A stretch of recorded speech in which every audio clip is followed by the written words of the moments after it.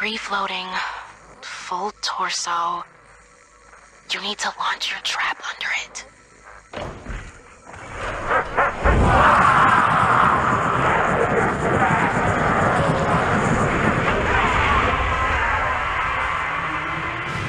You okay?